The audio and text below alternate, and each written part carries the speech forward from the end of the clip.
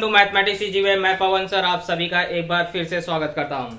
जैसा कि आप जानते हैं कि हमारा class ninth maths one chapter number five चल रहा था, जिसमें अभी तक हमने 5.1 एक्सरसाइज को कंप्लीट किया था। और चैप्टर नंबर फाइव यानी कि आप समझते होंगे, दो चरांक वाले रेखी समीकरण। इसमें हमने बेसिक चीज़ को बिल्कुल अच्छी तरह से समझ लिया था, क्योंकि मैंने आपको बताया था दसवीं में भी आपको बहुत काम आएगा। इसलिए अगर आपने इसको बेस को अगर मज़बूत नहीं किया तो आपको टेंथ में प्रॉब्लम हो सकती है। और इसके आधार पर ही मैंने आपको क्या किया था? 5.1 सिखाया था, यानी कि बेसिक से लेकर के आपको 5.1 तक लेके गया था, और आपने उन सबको किया होगा। अगर नहीं किया है तो पुराने वीडियो पे जाइए और अच्छे से उसको समझिए तो आपको 5.2 और भी अच्छी तरह से क्या होगा, समझ में आएगा, क्योंकि 5.2 क्या है? शाब्दिक समीकरण है। और शाब्दिक समीकरण पर आधारित सवाल है। तो अगर आपको समीकरण हल नहीं करने आएगा तो आप समीकरण बना के क्या करेंगे? उसको जब आपको हल ही नहीं करने आएगा। इसलिए आपको क्या करना है? पहले अगर आपने पुराने वीडियो को नहीं देखा है तो पुराने वीडियो को देखिए और वहाँ से क्या करिए, पहले समीकरण को कैसे हल किया जाता है, इसको सीखिए। इसके बाद हम लोग क्या करेंगे, शाब्दिक समीकरण को हल करना सीखेंगे। यानी कि आपको शब्दों में वह स्टेटमेंट लिखे रहेंगे, उसके आधार पर आपको समझना है, समीकरण बनाना है और उस समीकरण को हल करके उसके मान ज्ञात करने हैं। तो अगर अभी आप चैनल पे इस पर नए हैं और आप वीडियो देख रहे हैं और आपको अच्छा लग रहा है तो चैनल को सब्सक्राइब कर लीजिए और अगर आपको और अच्छा लग रहा है तो लाइक और शेयर भी कर सकते हैं दोस्तों के साथ, ओके? चलिए स्टार्ट करते हैं दो चरांक वाले। रेखी समीकरण एक्सरसाइज नंबर फाइव उसका क्वेश्चन नंबर फ़र्स्ट देखिए, पहला क्वेश्चन क्या बोलता है? कि एक लिफाफा है। लिफाफा, जैसे आप जानते हैं, शादी ब्याह में जाते हैं तो लिफाफे में पैसा पकड़ाते हैं। तो उसमें क्या किया है? एक आदमी ने पाँच रुपए और दस रुपए के नोट डाले हैं। उसके पास छुट्टे रुपए थे। तो उसमें आपको बोला है, लिफाफे में कुछ पाँच रुपए के और कुछ दस रुपए नोट थे, लेकिन वो धनवान था, उसने तीन सौ पचास रुपए का गिफ्ट दिया था। यानी कि नोटों का कुल मूल्य आपको बताया गया कि अगर पाँच रुपए की नोट और दस रुपए के नोटों को गिना गया तो कुल मूल्य हो रहा था तीन सौ पचास रुपए। पाँच रुपए, अब आपको संख्या बता रहा है कि कौन सी नोट कितनी थी। एग्जैक्ट संख्या नहीं बता रहा है। उससे आपको क्या कर रहा है? हिंट दे रहा है कि जो पाँच रुपए के नोटों की संख्या है, वह दस रुपए के नोटों की संख्या के दुगने से दस कम है। यानी कि यहाँ से ये तो पता चल गया कि पाँच रुपए की नोट की संख्या ज़्यादा है और दस रुपए की नोट की संख्या क्या है? कम है। कितनी कम है? तो बोल रहा है कि जितना आपको दस रुपए की नोट है, उसका दुगना कर लीजिए और उसमें से दस नोट घटा दीजिए तो उतने ही नोट क्या है? पाँच रुपए के हैं। तो हमें पता करना है कि कितने पाँच रुपए के नोट हैं और कितने दस रुपए के नोट हैं। ओके? स्टार्ट करते हैं। चलिए, हमारा लिफाफा पहले तैयार हो जाएगा। लिफाफे में मैंने रख दिया है पाँच रुपए का और दस रुपए का नोट। लेकिन कितना नोट पता नहीं है। तो हम क्या करेंगे? पहले मान लेंगे। माना पाँच रुपए के नोटों की संख्या है एक्स और दस रुपए के नोटों की संख्या है वाई दोनों की संख्या नहीं मालूम, कितना पाँच रुपए है, कितना दस रुपए है, ये हमें पता नहीं है। तो हम उसको क्या करेंगे? पाँच रुपए के नोटों की संख्या को मान लेंगे एक्स और दस रुपए के नोटों की संख्या को मान लेते हैं वाई अब आपको देखिए टोटल मूल्य दिया है तीन सौ साठ, यानी कि लिफाफे में मूल्य कितना है? तीन सौ साठ है कि तीन सौ पचास है? तीन सौ पचास रुपए है। आप कैसे पैसा गिनते हैं? मान लो पाँच रुपए की आपको दस नोट है। अगर मैं बोलू पाँच रुपए की दस नोट है तो कितना रुपया हुआ? पाँच रुपए की एक नोट रहेगी तो पाँच रुपए हुआ। दो नोट हुई, यानी दस रुपए हुआ। यानी कि जितने नोट रहती है, उतना ही क्या करेंगे हम उसमें? गुड़ा कर देंगे। तो पाँच गुड़े दस, यानी कि कितना नोट, कितना रुपया हो गया? पचास रुपए तो वैसे ही अगर मुझे, मेरे पास पाँच रुपए के एक्स नोट है तो यहाँ से कितनी रकम आ गई? पाँच एक्स यानी जितने नोट रहेंगे, उसमें क्या करोगे? पाँच से गुड़ा कर दोगे। तो नोट की संख्या है एक्स और पाँच से गुड़ा किया, यानी कि इतनी रकम हमारे पास पाँच रुपए के नोट से आ गई। प्लस दस रुपए की नोट है अगर वाई तो दस रुपए से कितना रुपए आ रहा है आपको? यानी कि इसमें दस से क्या करेंगे? वाई से गुड़ा कर देंगे। अब इन दोनों का योगफल आपको बता रहा है कितना है? तीन सौ पचास। तो इस तरह से हमारा पहला समीकरण तैयार हुआ। फिर से मैं समझा रहा हूँ। पाँच रुपए के नोट नहीं मालूम थे एक्स दस रुपए के नोट नहीं मालूम है कितने हैं? वाई तो पाँच रुपए के नोट से कितना पैसा मिल रहा है? इसके लिए पाँच रुपए में जितने नोट रहेंगे, उससे क्या करोगे? गुड़ा करोगे।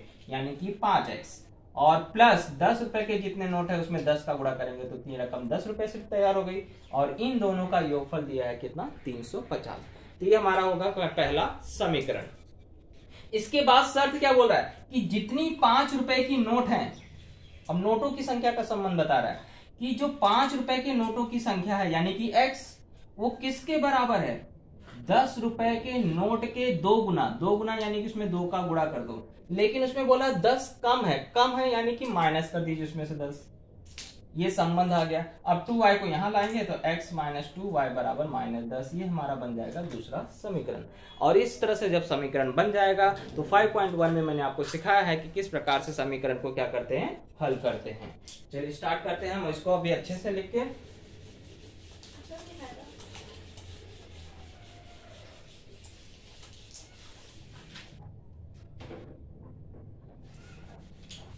तो हमारे पास दो नोट है, एक पाँच रुपए की नोट है और एक दस रुपए की नोट है। दोनों की संख्या नहीं मालूम है, इसलिए हम लोग लिख देंगे माना पाँच रुपए के नोटों की संख्या। बराबर है x और दस रुपए के नोटों की संख्या बराबर है y इस तरह से हमने मान लिया। अब हम पहली शर्त पे जाएँगे। पहली शर्त क्या बोल रहा है? ध्यान से सुनना शिवांगी जी, आवाज़ नहीं आना चाहिए। आपको बोल रहा है कि इन दोनों रकमों को अगर मिलाया जाए तो आपको होता है 350 किन दोनों रकम को? पाँच रुपए की एक्स नोट, यानी कि कितनी रकम हो गई? पाँच एक्स हो गई। जितनी नोट रहेगी, उसमें पाँच का गुड़ा कर दोगे। प्लस दस रुपए की आपको जितनी नोट है, उसमें दस का गुड़ा कर दीजिए। अब इन दोनों रकमों को मिलाया जा रहा है तो बोल रहा है कि 350 हो रहा है। ये हमारी पहली शर्त पे समीकरण तैयार हो गया। दूसरी शर्त बोल रहा है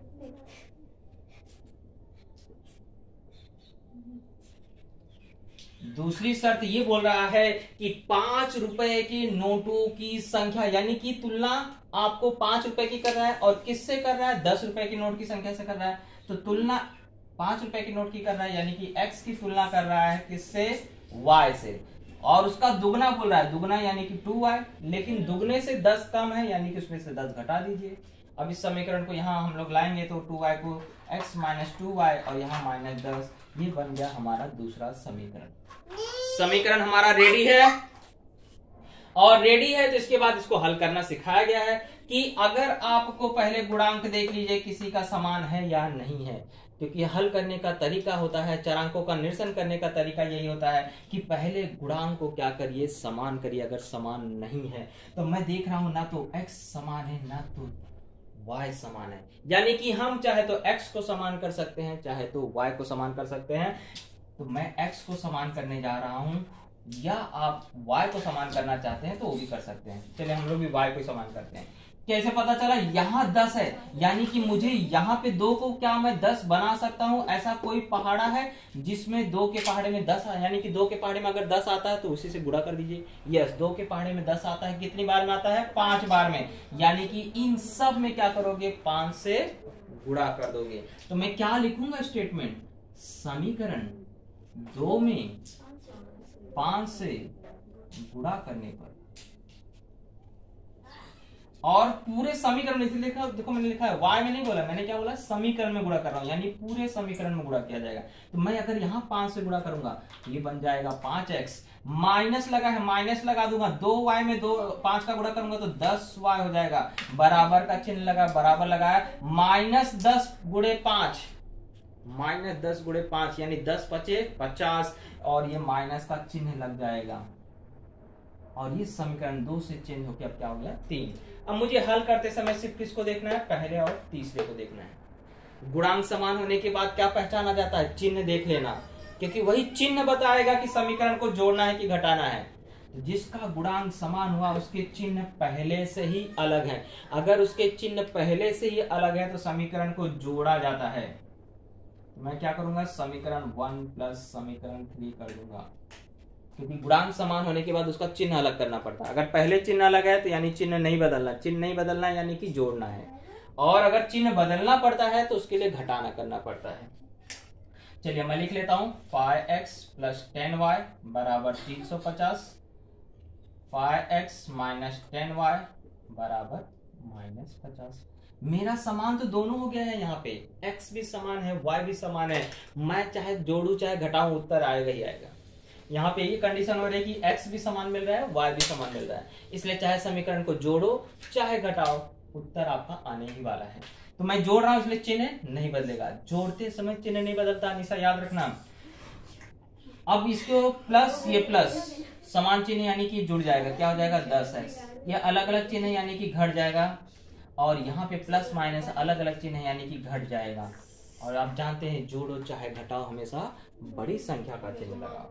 तो x बराबर तीन सौ में क्या करेंगे? दस से भाग देंगे। तो x का मान आ जाएगा तीस। पता चल गया, पाँच रुपए की नोट कितनी है? तीस। अब ऐसे ही क्या कर लेते हैं? y का भी मान निकाल लेते हैं। तो x का जो मान आया है ना ये ये मनवा किसी में भी रख लो। यानी कि x बराबर दस, मैं चाहूँ तो समीकरण एक में रखूँ, चाहे तो दो में रखूँ, कहीं भी रखूँ। तो समीकरण एक में रख लेता हूँ। तो पहले एक उतार लो पाँच एक्स धन दस वाई बराबर तीन सौ पचास। एक्स बराबर तीस। यस बहुत सही बचा तुमने बता दिया गलती।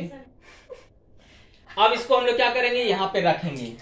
पाँच गुड़े तीस। धन दस गुड़े वाई क्योंकि वाई तो पता ही नहीं है। और यहाँ पे बराबर तीन सौ पचास। तीस का गुड़ा पाँच में करना है तो तीस का पहाड़ा मत पढ़ना, तीन का पहाड़ा पढ़ लेना। तीन पचे पंद्रह और एक ज़ीरो लगा देना, हो गया। शॉर्टकट में काम निपटाने का, डेढ़ सौ। प्लस दस वाई बराबर साढ़े तीन सौ।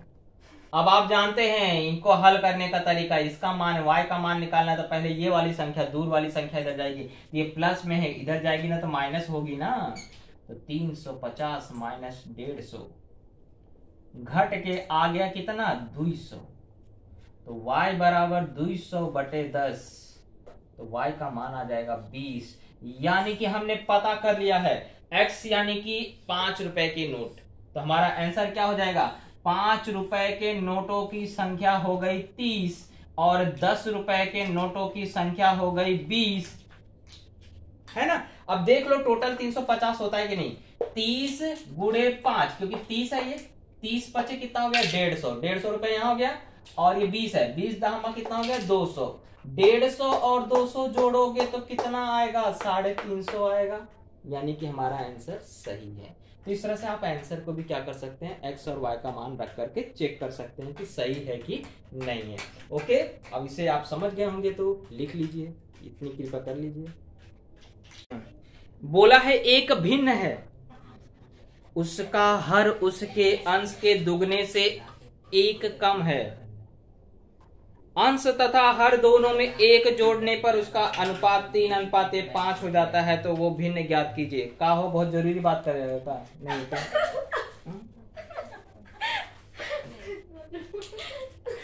तो एक भिन्न है, उसका हर बोल रहा है कि अंश के दुगने से एक कम है।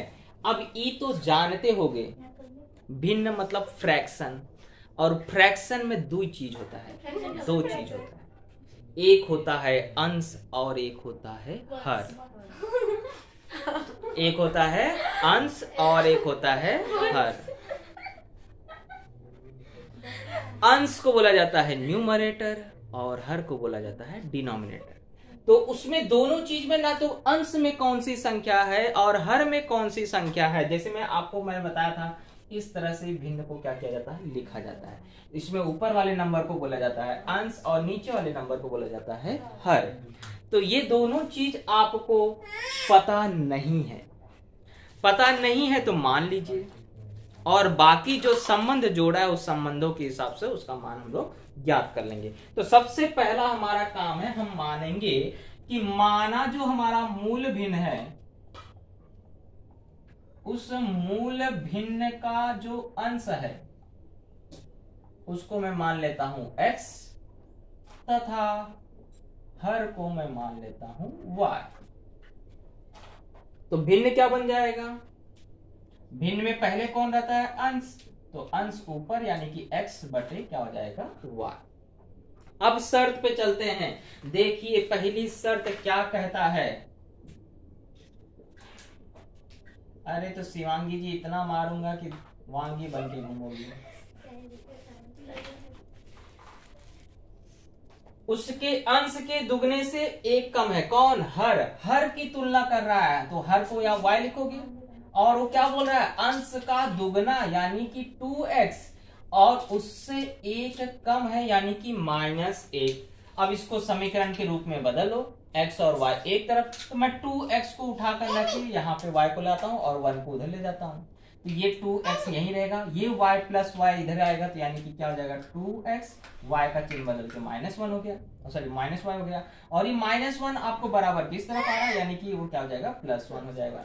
इस तरह से मेरा समीकरण नंबर एक क्या हो गया, तैयार हुआ। अब दूसरी शर्त पे चलते हैं।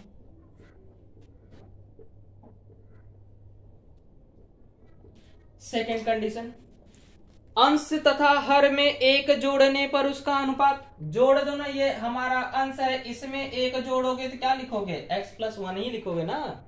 और हर में एक जोड़ोगे यानी क्या लिखोगे? Y प्लस वन ही लिखोगे। और वो किसके बराबर हो जाता है?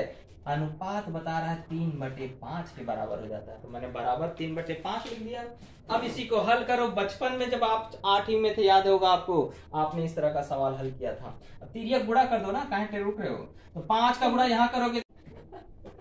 अब हम लोग क्या करेंगे? इसको भी समीकरण को सामान्य रूप में बदलेंगे। तो यहाँ यानी कि यहाँ five x minus three y, ये प्लस में इधर आएगा क्या हो जाएगा? माइनस में। बराबर धन तीन यहाँ पे था। देखो कौन कहा जा रहा है? इसको ध्यान में रखना है। ये यहीं पे है, इसका चिन्ह नहीं बदला। ये उठ के आ रहा है बाई तरफ़। धन तीन वाई यहाँ से उठ के यहाँ आ रहा है, यहाँ प्लस क्या करेगा, हो जाएगा माइनस और अब देखिए, संख्या तीन यहीं पे है। ये धन पाँच इसका भाई, इधर से इधर जाएगा तो क्या हो जाएगा माइनस पाँच। यानी ये हो जाएगा five x minus three y बराबर माइनस दो बन गया मेरा समीकरण नंबर दो। अब मैं देख लेता हूँ क्या कोई समान है। नहीं। ना तो x समान है, ना तो y समान है। तो मैं y को समान करता हूँ। तो y में मैं देख रहा हूँ गुणांक यहाँ है तीन, यहाँ है गुणांक एक। यानी कि मैं एक को क्या बना सकता हूँ? तीन। कैसे? समीकरण एक में तीन से गुणा करके।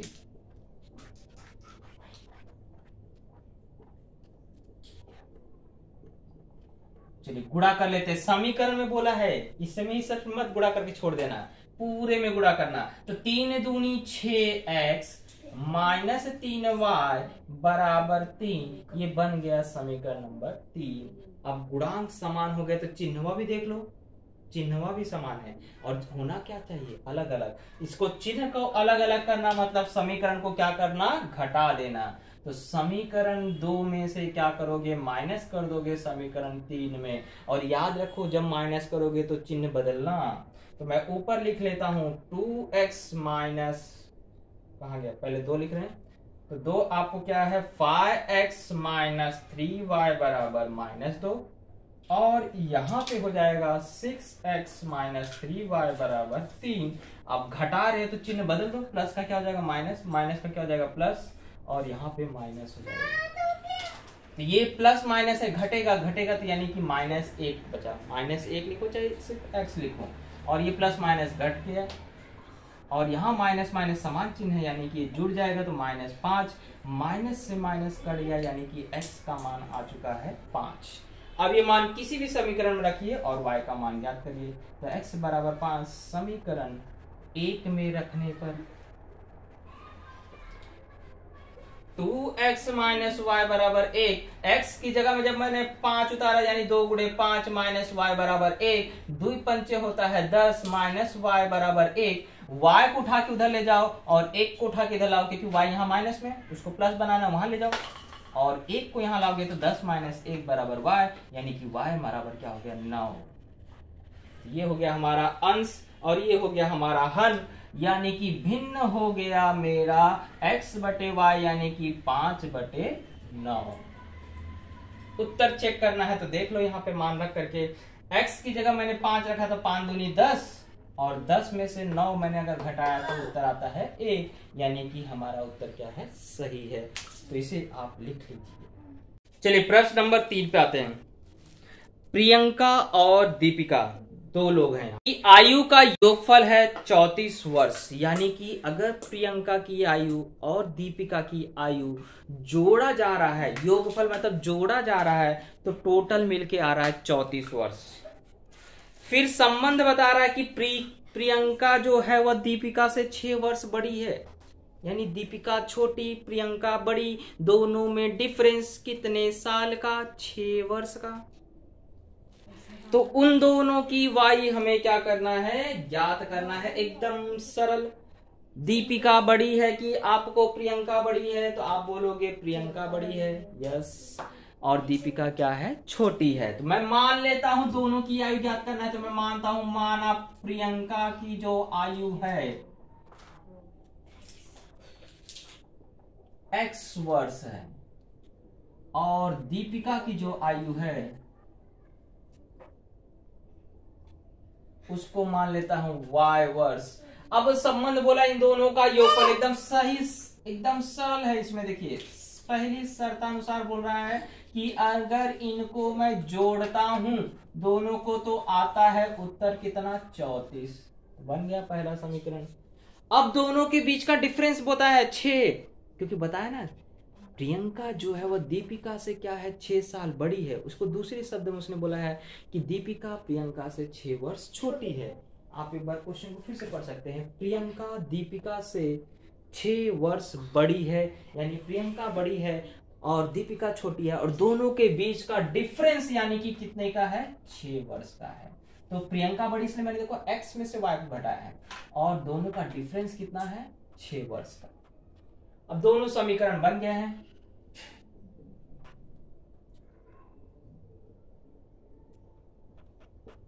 अब इसको हल करना है तो बच्चे का खेल। Y यानी 34 और x माइनस वाई आपको मैंने लिख दिया छह समीकरण को चाहे जोड़ो, चाहे घटाओ, दोनों से उत्तर आएगा। मैंने यहाँ लिख दिया समीकरण वन प्लस टू जोड़ आसान होता है हमेशा, याद रखिए, क्योंकि इसमें चिन्ह नहीं बदलना पड़ता है। ये देखिए कट जाएगा ये टू एक्स हो जाएगा जुड़ जाएगा चौतीस छह चालीस यानी एक्स बराबर चालीस बटे दो और दो से भाग देना यानी कि चालीस का आधा कर देना और चालीस का आधा होता है बीस यानी एक्स का मान आ गया बीस। एक्स है कौन?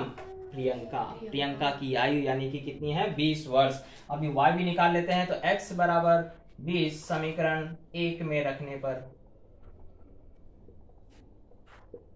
तो x प्लस वाई अगर दोनों का योगफल आपको चौतीस है और उसमें से x का मान 20 है तो ज़ाहिर सी बात है y का मान निकालने के लिए चौतीस में से 20 माइनस कर दीजिए, यानी कि 14 वर्ष।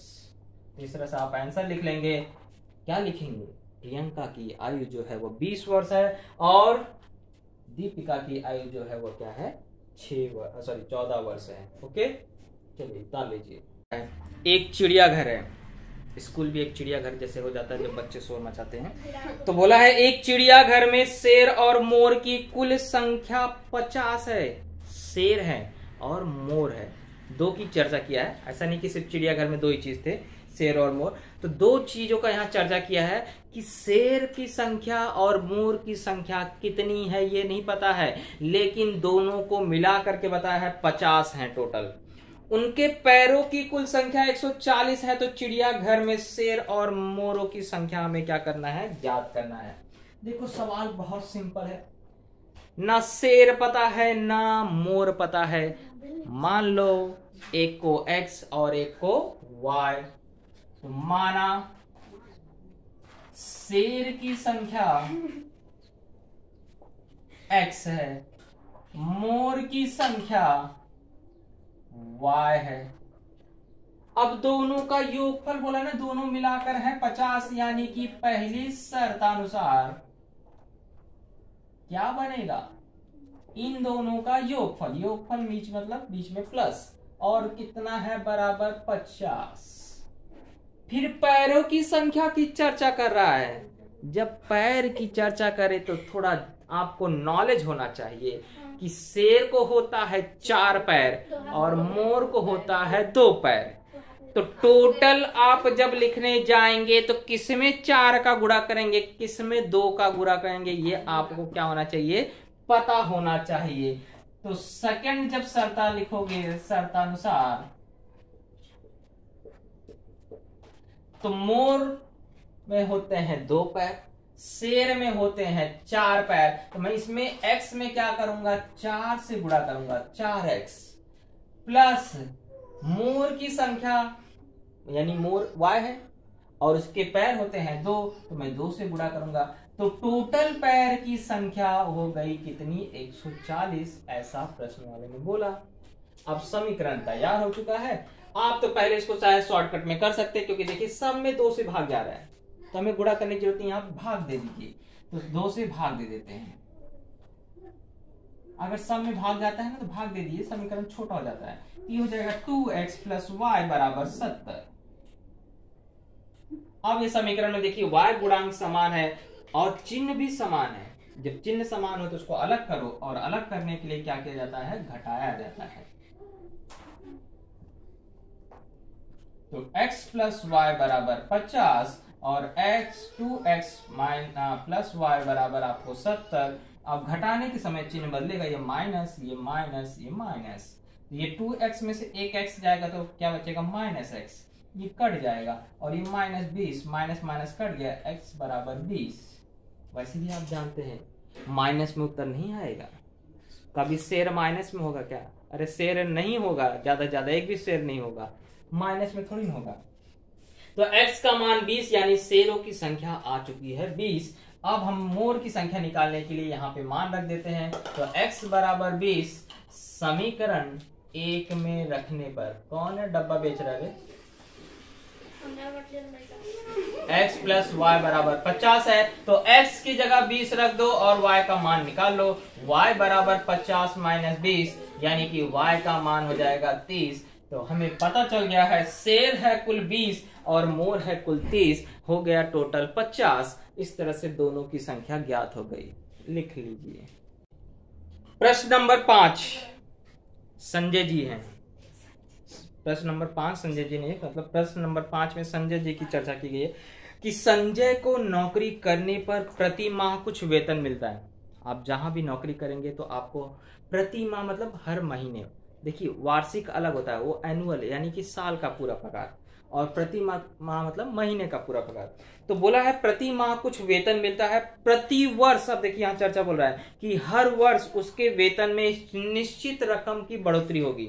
यानी कि वो जब नौकरी पे गया तो उसके सामने ये डील रखी गई है कि आपको प्रति माह इतना मिलेगा और जैसे ही आप एक साल कवर करेंगे, इतना रुपया और जोड़ देंगे आपके वेतन में। हर साल आपका इतना इतना क्या होता जाएगा, वेतन में बढ़ता जाएगा। यानी कि एक रकम निश्चित किया गया कि हर साल कितने रुपए बढ़ेगा आपका वेतन। यदि चार वर्ष बाद उसका प्रति माह वेतन साढ़े चार हज़ार हो गया और दस साल बाद उसका वेतन पाँच हज़ार चार सौ रुपए हो गया तो उसका प्रारंभिक वेतन यानी कि शुरू की सैलरी कितनी थी और हर साल कितने रुपए की बढ़ोतरी हो रही थी, ये दोनों चीज़ों को आपको ज्ञात करने के लिए कहा गया है। तो चलिए, हम लोग कुछ नहीं, दोनों चीज़ें पूछा है उसको एक को एक्स मान लेंगे, एक को वाई मान लेंगे। तो माना संजय का प्रति माह वेतन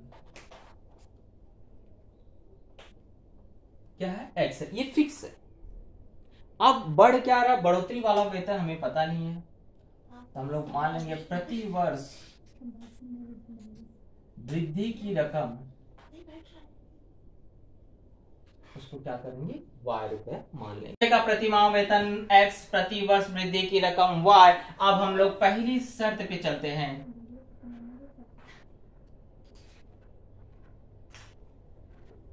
पहली शर्त बोल रहा है कि उसका वेतन चार साल बाद हो जाता है, साढ़े चार हज़ार। चार वर्ष बाद।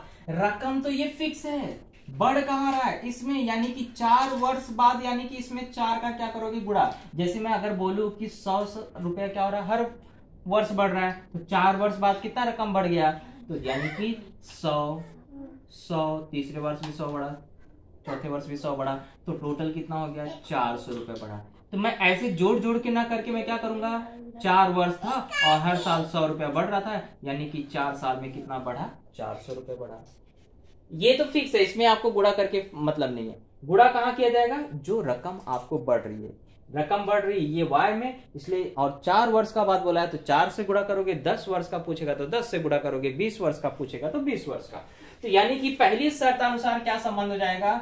एक्स प्लस चार वाई बराबर साढ़े चार हज़ार।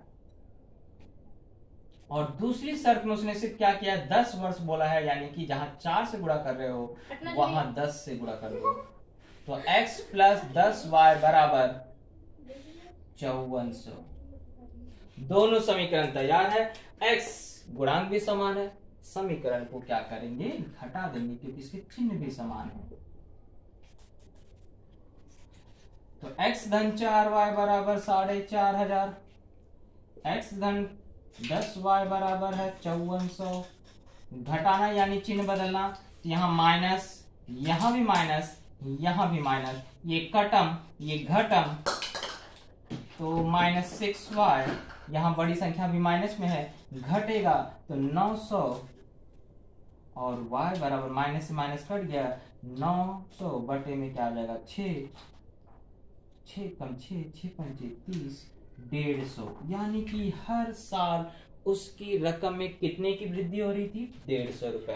अब हमें प्रारंभिक वेतन भी निकालना है, यानी कि एक्स का मान भी निकालना है। तो हम वाई बराबर डेढ़ सौ समीकरण एक में रख लेते हैं। तो x प्लस क्या है? चार वाई बराबर साढ़े चार हज़ार है। X की जगह नहीं रखना है, y की जगह डेढ़ सौ रखना है तो यानी x धन चार गुड़े डेढ़ सौ। तो इसका गुड़ा कर लीजिए 600 हो गया। अब 600 वहाँ घटा दीजिए। तो साढ़े चार हज़ार माइनस छ सौ, यानी कि आपको हो जाएगा, यहाँ से घट गया, उनचालीस सौ रुपया उसको प्रारंभिक वेतन मिलता था। तो दोनों चीज़ ज्ञात हो गई। उसका प्रारंभिक वेतन है उनचालीस सौ रुपए यानी तीन हज़ार नौ सौ रुपए। और प्रति वर्ष जो वृद्धि हो रही है वह है डेढ़ सौ रुपए। आप हर जगह रुपए लगा सकते हैं यहाँ पे। और फाइनल आंसर भी लिख लेंगे ओके प्रश्न नंबर सिक्स और यही आखिरी है। आ, आगे के सवाल आपको जानते हैं इस बार के सिलेबस से क्या किए गए हैं? हटा दिए गए हैं। बोला है तीन कुर्सियों और दो मेजों का मूल्य है चार हज़ार पाँच सौ रुपए। यानी कुर्सी खरीदने गए हैं और मेज खरीद रहे हैं तो बता रहा कि अगर तीन कुर्सी खरीदते हैं और दो मेज खरीदते हैं तो उनको टोटल पैसा देना पड़ता है चार हज़ार पाँच सौ रुपया। और अगर वहीं पे पाँच कुर्सी और तीन मेज लेते हैं तो उसका मूल्य हो जाता है सात हज़ार रुपए तो हमें दो कुर्सी, देखो यहाँ एक कुर्सी का दाम नहीं पूछ रहा है, ध्यान से देखिए, दो कुर्सी और दो मेज का मूल्य पूछ रहा है। तो करना कुछ नहीं है। पहले एक कुर्सी और एक मेज का निकाल लीजिए और दो दो से गुड़ा कर दीजिए तो आपका उत्तर क्या हो जाएगा? आ जाएगा। चलिए, ना तो कुर्सी का पता है, ना मेज का पता है, दोनों को मान लेते हैं। एक को x और एक को y माना एक कुर्सी का जो मूल्य है, वो है x रुपए। और एक मेज का मूल्य है, y रुपए। अब प्रश्न में देखिए, पहली शर्त पे जब जाएँगे फ़र्स्ट कंडीशन पे जब जाएँगे आप तो क्या बोल रहा है? कितनी कुर्सी, कितने मेज खरीद रहा है? तीन कुर्सी, यानी कि तीन एक्स जितना एक कुर्सी का दाम रहेगा, उसमें तीन का गुणा करोगे, तीन कुर्सी का आएगा। तो तीन एक्स धन दो मेज खरीद रहा है, यानी टू वाई तो हो जाता है रकम कितना? साढ़े चार हज़ार रुपए। सेकेंड कंडीशन क्या बोल रहा है? कि अगर वहीं पर आप पाँच कुर्सी खरीदते हैं, यानी कि पाँच एक्स धन तीन मेज खरीदते हैं, यानी कि तीन बार तो दाम हो जाता है सात हज़ार। चलिए, दोनों कंडीशन के हिसाब से समीकरण बन चुका है, और आपको कोई गुणांक भी समान नहीं है। गुणांक समान के लीजिए तो यहाँ पर आपको क्या करना, अदला बदली यहाँ गुड़ा करना पड़ेगा। देखो, दोनों जगह नंबर है, दोनों जगह क्या है? दोनों नंबर का मसावी क्या है? एक है। तो ऐसी कंडीशन में दोनों संख्याओं से क्या करना पड़ता है? अदला बदली गुड़ा करना पड़ता है। तो मैं y को समान करने जा रहा हूँ तो y यहाँ पे तीन है।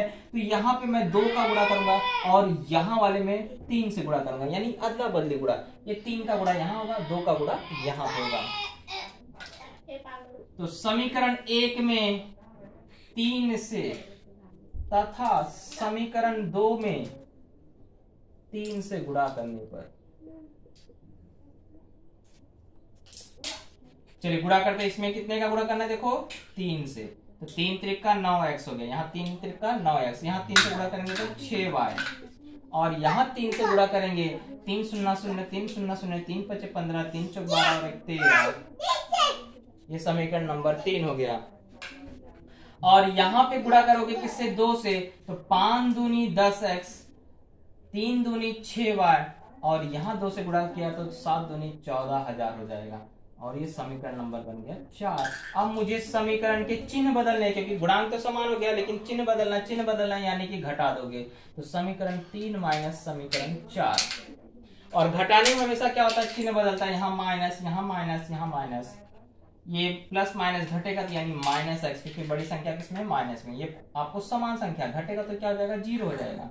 और यहाँ पे घटेगा तो आपको आ जाएगा माइनस पाँच सौ। माइनस माइनस कर गया, यानी कि एक्स का मान आ गया पाँच सौ। यानी कि एक कुर्सी की कीमत है पाँच सौ। चलिए, यहाँ पे मैंने थोड़ा सा यहाँ लिख दिया, तीन से गुड़ा आप इसमें दो से गुड़ा कर रहे हैं तो यहाँ चेंज कर लीजिए। अब आगे देखिए, x का मान 500 आ चुका है। अब मुझे यही मान किसी भी समीकरण में रखूँगा। तो x बराबर 500 समीकरण एक में रखने पर। तो एक उतार लीजिए। तीन एक्स है, धन दो वाई है, बराबर पैतालीस सौ। अब मैं इसमें x की जगह पाँच सौ रखूँगा, यानी तीन गुड़े पाँच सौ, धन दो वाई बराबर पैतालीस सौ। तो पाँच सौ का तीन नोट मिलता है तो मेरा हो जाता है पंद्रह सौ। धन दो वाई बराबर पैतालीस सौ। धन पंद्रह सौ उधर जाएगा तो माइनस हो जाएगा। बचपन में पढ़ा है आपने तो पैतालीस सौ माइनस पंद्रह सौ हो जाता है तीन हज़ार। और तीन हज़ार में दो से भाग देना, यानी आधा करना, और तीन हज़ार का आधा हो जाता है पंद्रह सौ। यानी कि एक मेज है पंद्रह सौ का, एक कुर्सी है पाँच सौ का। तो दो कुर्सी का मूल्य कितना हुआ? दो कुर्सी प्लस दो मेज, यानी कि दो गुड़े पाँच सौ, धन दो गुड़े तीन पंद्रह सौ। ये हो गया हज़ार और ये हो गया तीन हज़ार और दोनों को जोड़ा तो हो गया चार हज़ार। यानी कि दो कुर्सी और दो मेज खरीदोगे तो चार हज़ार रुपया देना पड़ेगा। ओके? तो इस तरह से हमारा चैप्टर नंबर फाइव भी कंप्लीट हुआ। अब बताओगे प्रसंग्रह प्रकीर्ण प्रसंग्रह हम धीरे धीरे करते रहेंगे। पहले आप कोशिश करिएगा। जो नहीं आएगा ना तो नीचे कमेंट बॉक्स में ज़रूर पूछिएगा।